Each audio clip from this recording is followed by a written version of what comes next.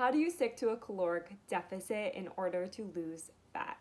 You need to find compliance. Consider your preferences, your values, and what your goals are. Asking yourself questions such as How much structure do I need? What methods of portion control will work well for me? Do I value social settings? Do I like to go to social gatherings? Do I enjoy going out to eat frequently? What's my schedule like? Am I very busy or do I have more flexibility? Do I need convenience? Do I enjoy cooking? All of these things are going to determine the approach you take to your fat loss journey. And the goal is to find a routine and strategies that work for you that you can stick to for the long